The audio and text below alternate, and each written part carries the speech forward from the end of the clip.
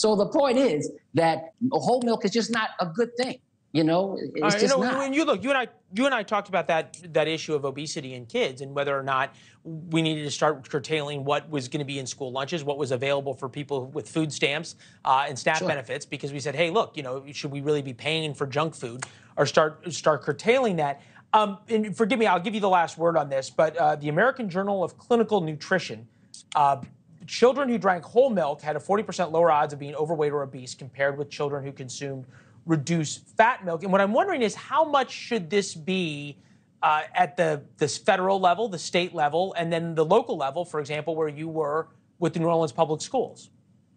Yeah, I mean, I think that this is should be at the federal level because there's some things that are just incorrect. And so, I like I said, I'm, I'm a study uh, a study guru. I'm a clinical trials uh, principal investigator over 70 clinical trials in peer-reviewed journals.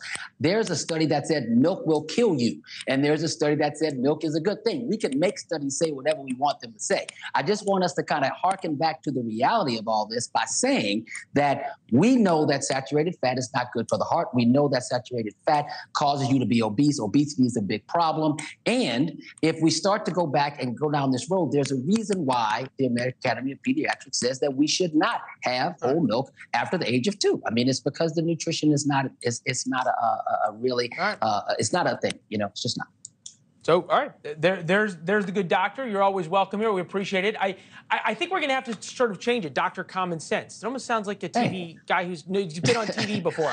Dr. Corey Hebert from New, from New Orleans. It's good to see you, sir. Thank you very much. With us You- now, you- co-sponsor of the Milk Act, Whole Milk Act for Healthy Kids, Mark Alford of Missouri. All right, did the doctor have it wrong? You're going to argue with the doctor on Look, TV? I am all about common sense. You know that. Okay. I came here to get common sense things done. A common sense measure is to pass this bill.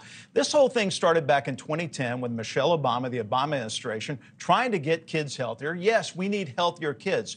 They introduced uh, a lot of things like broccoli and skim milk, outlawed whole milk in our schools. And what happened? I've got the stats here from the National Institutes of Health. Obesity levels in 2010 were 16.9% of our children.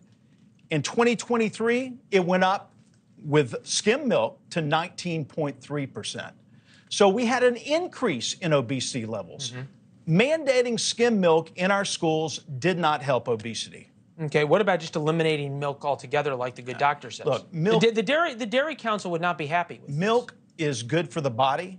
It's got the fats, the healthy fats that you need for brain development, especially in teens. And let me tell you, I've got two milks here. I did, couldn't find skim milk.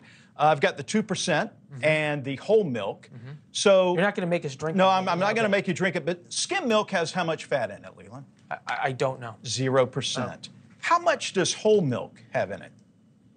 Four percent. 3.25%. People would have you believe that you're drinking melted butter.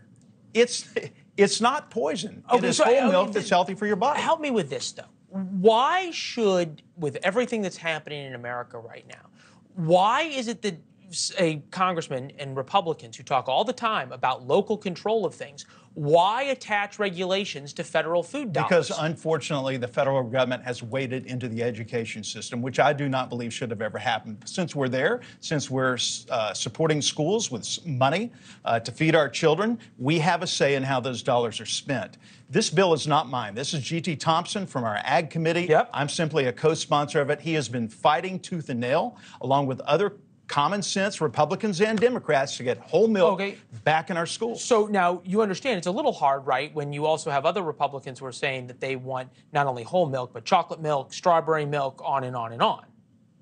This bill, I brought the bill, may offer students flavored and unflavored whole, reduced fat, low fat, fat free fluid milk, lactose free fluid milk. So in other words, chocolate milk's okay now. We're giving students an option of what they want. Is right, but but if we want to reduce obesity, how is having our federal dollars pay for chocolate milk, and then having to pay in the later on in life when they have type two diabetes going to help? Look, we need to cut down on obesity, no doubt about it, not just in our young people, but in our adults. And that's one of the things we're working on the Farm Bill with the SNAP program.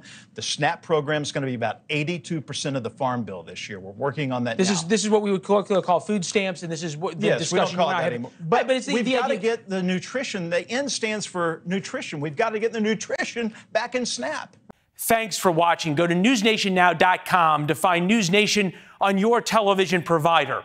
And don't forget to subscribe. Click the red button to get more of News Nation's fact driven, unbiased coverage.